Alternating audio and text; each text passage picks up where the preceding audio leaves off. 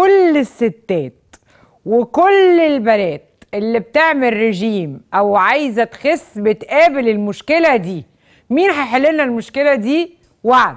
وعد عادل منورانا النهارده. Hi. يا وعد يا يا وعد. إزيك يا وعد؟ الحمد لله. اسمك حلو قوي. thank you thank you بص يا وعد. كلنا كلنا بنجرب نخس. مم. كلنا. كلنا. نلاقي ال- الواحدة فينا كده يا أختي بتعمل الرجيم وماشية على الورقة اللي هي بتطبع دي لينا كلنا صح. خلاص. أسبوع اتنين تلاتة. الميزان زي ما بيكون بيجمد يا. حبيبي. بنحطه في الفريزر كده جامد. أوكي. الوزن بقى ما يرضاش ينزل ابدا. خلاص؟ أعمل رجيم تاني مع مش عارفة إيه. مم. أعمل إيه؟ مشكلة مشكلة common جدا زي ما انت بتقولي. أيوه. كل الناس تقريبا. أيوة. بصي أول سبب إنه واجهتها كتير. كلنا. كلنا رفيعين صغيرين. في ناس تقول لك أصل سني أصل أنا عشان عملت دايت كلنا لازم يحصل كده. حلو. أول سبب إن ده زي أي حاجة في الدنيا عمرها ما بتبقى خط مستقيم. يعني عمر ما كل يوم هتحسن وكل أسبوع هتحسن زي أي حاجة في الدنيا. طبيعي جدا يحصل فيها فترات ثبات حتى لو أنا ماشي صح. طبيعي. طب يعني. إزاي أكثر ثبات الوزن ما أنا؟ هقول لك على الأسباب التانية والطرق. اللي إحنا ممكن يلا. بس أنا عايزة أقول لك إنه مش شرط يكون error لأن خلي بالك ناس كتير قوي أول ما تلاقي الميزان ثابت أسبوع يقول يبقى بعمل حاجة غلط. يبقى غير الدايت يبقى غير الدكتور. لا خالص. وارد جدا ده يحصل. طيب من أهم أسباب إن الميزان يثبت إن أنا يبقى عندي visceral fat يبقى عندي دهون على الأحشاء. مش بس الدهون اللي أنا شايفها. يعني يبقى عندي دهون مستخبية جسمي محتاج عارفة ال- الكبد الدهني؟ مم. عندي دهون على الكبد مثلا. الدهون دي جسمي مش هيسيبها. أنا بدأت بقى أعمل دايت بدأت أصوم بدأت أعمل حاجات صح؟ هتنزل. لو هي اللي بتنزل الميزان مش هيتحرك خالص. ولا المقاسات. بس مش كتير ما تخديش قوي. في الآخر هيتحرك. بس هتلاقي لما تلاقي في فترة كده فعلا مفيش أي حاجة بتحصل اعرفي إنها غالبا غالبا فيسرال فات اللي هي الدهون الأحشاء. دهون الأحشاء. بالظبط. جوه بقى. أنا مش شايفها. وأنا شايف الميزان ما بيتحركش فابتدي أتخيل إني بعمل حاجة غلط بس أنا بعمل حاجة صح جدا. بعمل حاجة لازم أعملها ما عنديش اختيار أصلا ما أعملهاش. بالعكس ده أنا كده بعمل حاجة تحفة بس أنا مش شايف أي نتيجة. بعد بقى ما تنزل هبتدي أخس وألاقي الميزان بينزل وكل حاجة تمام. يعني أنا بخس. لجوه؟ بالظبط أنا دايما بقول كده بخس لجوه. المهم إن يعني لسه بخس. عند ناس كتير بالظبط بس أنا مش عارف أمسكها. فأفتكر إن مفيش حاجة بتحصل وفي حاجة بتحصل. آه. ده سبب منتشر جدا جدا جدا. وتعرفي إنه بيحصل لو لقيتي نفسك لا ميزان ولا, ولا مقاسات. مقاسات. ده أنا أول مرة في حياتي أسمع المعلومة دي بقى. تصدقي؟ دي حاجة منتشرة جدا. ده أول سبب. حلو. نستنى. دي مش ماشي. محتاجة تعملي أي حاجة غير إنك تستنى. يعني أوكي. كملي في اللي انت بتعمليه. Please ما تشكيش في نفسك خالص. يعني ما ابتديش بقى أقول لا يبقى أنا بعمل حاجة غلط يبقى الدايت بتاعي واحد خالص. بس كملي شوية شوية هينزلوا تلاقي الميزان والمقاسات بينزلوا. ماشي. تمام. إيه تاني ممكن يكون سبب إن حد وزنه ما بينزلش؟ لو حد بيعمل دايت طول حياته. عارفة الناس بتقول لك ده أنا عشتي كلها في الدايت. ده من وأنا قد كده أنا بعمل دايت؟ آه. بيحصل لهم حاجة اسمها metabolic adaptation metabolic adaptation أنا جسمي تأقلم على قلة الأكل. فبقى خلاص بقى. أنا قاعد بقلل وهو بالنسبة له عادي. متقلل. أيوة. طول حياتي مقلل. أيوه. دي برضو حاجة منتشرة. عارفة كمان أكتر ناس بيحصل لها؟ أنا حاسة وجعتك قوي. لمست معاكي جامد. دي عارفة أكتر ناس بتحصل لهم مين؟ اللي بيعملوا الدايت ال chemical والحاجات دي. امم مش عارفة دايت البطيخ دايت التمر باللبن لا الحمد لله إيه. ما بعملش دول وحشين قوي. آه. نزلك بسرعة ينزلك مية بس هيجيب لك metabolic adaptation الحرق بتاعك هيبطأ مش هيقف هيبطأ. طيب. دي حلها إيه؟ صيام. إيه؟ صيام. قد إيه؟ قد إيه؟ الصيام. الطبيعي آه نصوم بس آه. آه. شوية. بس نصوم. يعني ما نعملش دايت مهما كان حلو ومهما كان كويس من غير صيام. غير صيام ال metabolic adaptation مش هيتعالج. ويفطروا على إيه؟ نفطر على أكل ما يكونش آه، يعني مليان نشويات ما يكونش مليان سكريات أكل كويس high protein فيه بروتين كويس. بس أنا الأهم بالنسبة لي في الحالة دي لو لو حد مثلا سمعني دلوقتي بيقول آه ده أنا فعلا أنا الشخص ده. أنا اللي كنت بعمل دايت البطيخ أنا اللي كنت بعمل دايت التمر باللبن والحاجات دي كلها. فعلا حرقي بطء أهم حاجة الصيام. أهم حاجة. إن أنا باكل إيه؟ لأن إحنا عندنا دلوقتي evidence عندنا دليل إن الصيام بيعلي هرمونات معينة زي ال norepinephrine هتساعدني إن الحرق بتاعي يرجع يعلى تاني. فجسمي يبقى شغال معايا. أصل أنا قاعد بزق بزق وجسمي مش معايا. جسمي حرقه بطء فأنا لازم أعالج ده بدل ما أبقى بعمل مجهود على الفاضي. طيب. صيام حلو. قد إيه أبدأ بأقل حاجة وأبتدي أزود مع الوقت؟ يعني يومين مثلا الأول وبعدين تلات أيام ورا بعض ولا انت عايزة إيه؟ قصدي. مثلا ابدأي بعدد ساعات قليلة تقدري عليه. كل شوية حاولي تزقي شوية.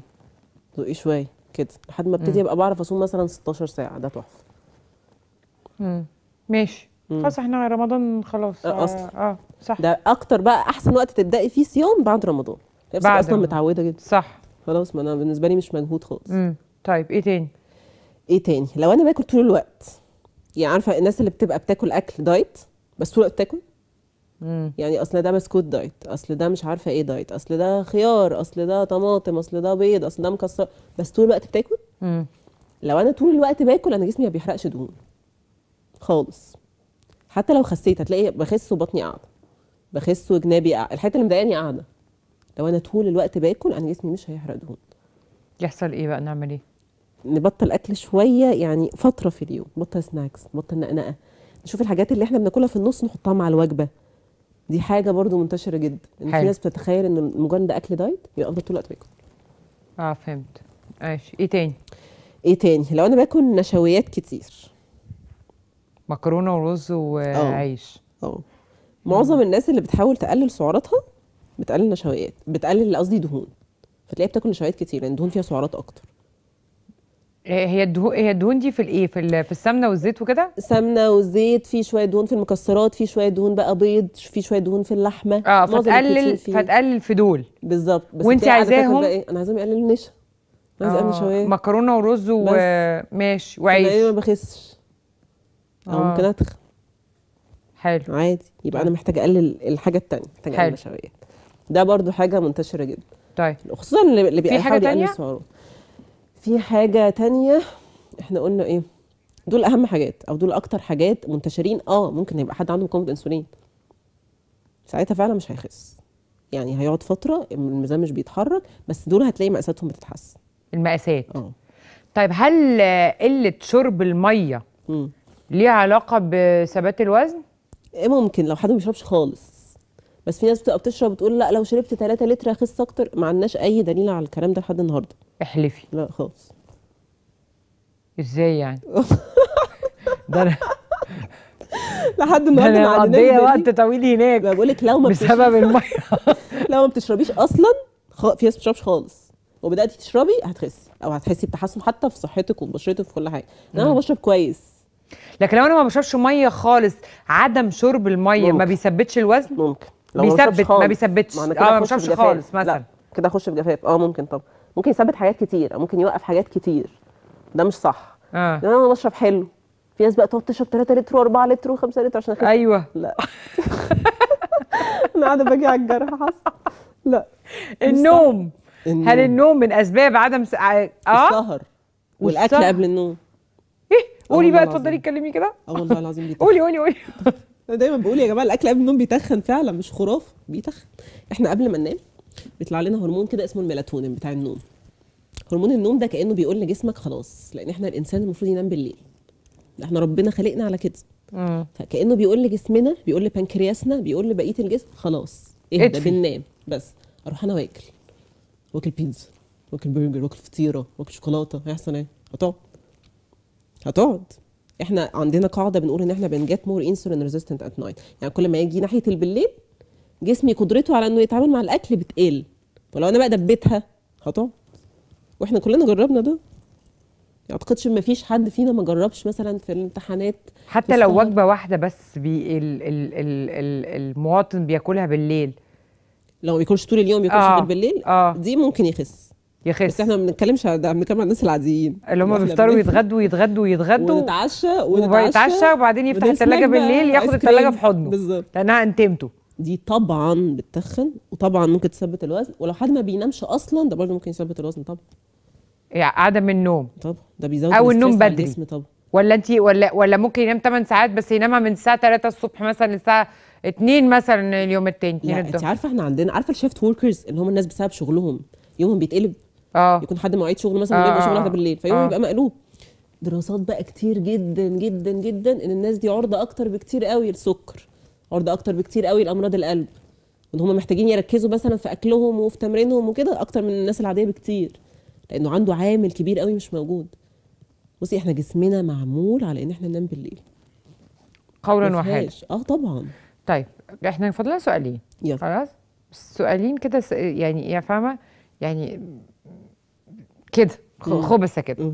طب أنا سألتك إيه الحاجات اللي بتخلي الميزان ثابت وإيه الحاجات اللي إيه نعملها علشان الميزان يتحرك؟ مم. طيب إيه الحاجات بقى اللي تساعد على الحرق؟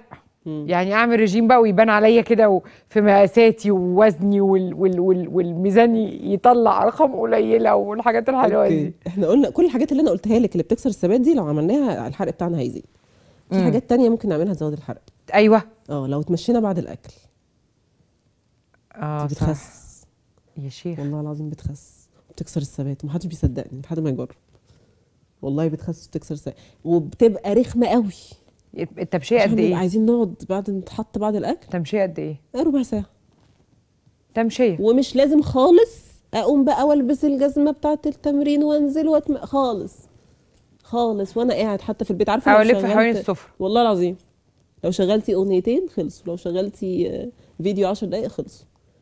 دي بقى إحنا عندنا evidence انها بتساعد في انها تقلل سكر الدم بتساعد في انها تخس وبتكسر الثبات وحاجة أي حد ممكن يعملها سهلة جدا مش صح. بتاخد وقت خالص هل فكرة إن واحدة ت... ت... تقوم ترقص. آه، زومبا بومبا بلدي أي كان نوع الرقص ده آه، آه، يعني آه، يريبليس أو آه، يتحط في مكان المشي اللي انت بتقولي عليه ما هي مش هتعرف تعمل كده الأكل أعتقد تعرف ليه؟ تعمل كده الأكل لأ الدليل بتاعنا على المشي بعد الأكل. لكن لو عايز ترقص في أي وقت تاني في اليوم ماشي براحتك. لكن ما ترقصش بعد الأكل. لا طبعا. ليه؟ هترجع غالبا يعني لا ما. ب... مش هترجع؟ لا. لا.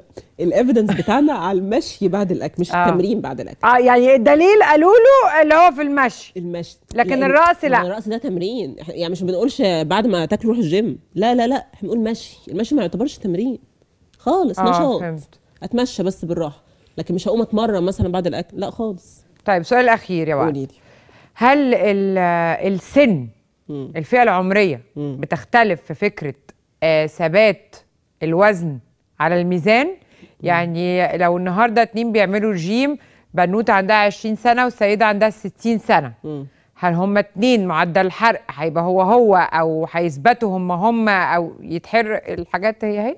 شكرا والله إنك سألتي السؤال. آه، كتر خيرك؟ سؤال مهم غالية. وبنت سؤال ولا- مهم جدا. بس يا حياه كان عندي واحدة كانت مثلا حاجة و30 طيب. مامتها كانت حاجة و60 أيوه. تقولي ماما بتخس أسرع مني.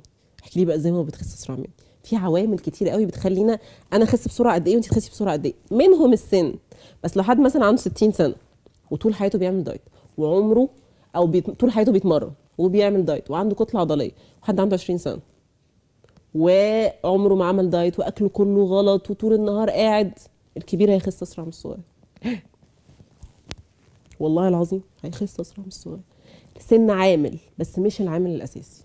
عمره ما بيكون العامل الأساسي. لكن لو جبنا مثلا نفس الشخص نفس الشخص وكان بيتمرن نفس التمرين وبياكل نفس الأكل وهو عنده 20 سنة هيبقى بيخس أسرع من عنده 60 سنة. طبعا. وده ده ما فيهاش. إحنا فعلا لما بنكبر فسيولوجيتنا بتتغير. تمام. لكن ده مش معناه إن لمجرد إني كبرت هتخ. يعني معدل الحرق مم. عند الست اللي عندها 60 سنة مم. ممكن يبقى أكتر من اللي عندها 20 تخيلي. سنة؟ والله أه تخيلي. لو اللي عندها 60 سنة مخليه بالها من أكلها واللي عندها 20 سنة طول النهار بتاكل قاعدة على الكنبة واللي عندها 60 سنة بتتمرن واللي عندها 20 سنة عمرها ما نزلت الجيم ولا تعرف تمرين. طبعا. ودي هتخس أسرع من دي. وتبقى صحتها أحسن من دي. وممكن ساعتها يبقى اللي عندها 20 سنة عندها سكر ومقاومة انسولين وما تعرفش أصلا. واللي عندها 60 سنة ما يبقاش عندها حاجة. يبقى الموضوع مش بالعمر بالصحة. بالظبط. إيه اللذاذه دي؟ والله بالظبط. اديتيني أمل. عامل لما أوصل 60 سنة إن شاء الله هبقى من هتبقي قمر. اعملي. دايت وصومي. والله. اعملي دايت وصومي أنا. بحاول والله. وقعدتي نورتينا النهارده. نورك شكرا. وكل المعلومات اللي قلتيها جديدة نوفي. عليا. بجد. بجد. وأنا مبسوطة إنها فادتني وأنا شكرا. وأنا مبسوطة إني شفتك. يا وأنا كمان. أصلاً يعني. أنا بحبك. وأنا جدا. وهتجيلنا تاني ها؟ sure. انبسطتي. معانا؟ جدا اول رايت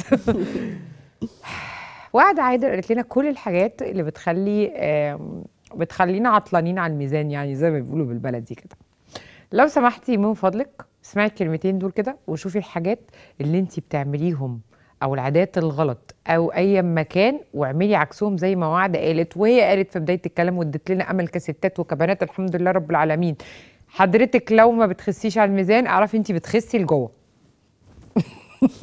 فخلي عندك أمل. اديني بخس برضو. أنا مش لابسة ومش شايفة بس بخس لجوه. فهخس لجوه وبعدين أخس لبره. مفيش حاجة يا جماعة.